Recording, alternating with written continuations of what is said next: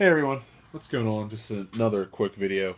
Um, today's Friday, so that means tomorrow is like the big Vintage Grand Prix stuff going on at Schenley Park. It also means there is that meet um, Saturday night. I will be there. It will be a pretty decent meet. Um, there's a lot of like bigger YouTubers that are in town for the Vintage Grand Prix and filming stuff. And they're having like a meet down at the waterfront at the Longhorn Steakhouse. Um, Dr. M3's there. So there's going to be obviously some supercars, you know, because of his friends in that. TJ Hunt, David Patterson, um, a couple big photographers from Instagram that have huge accounts and stuff.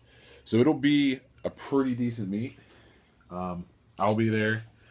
Um, I know a lot of the car people from Pittsburgh are out at Carlisle, PA for the Performance and Style Show.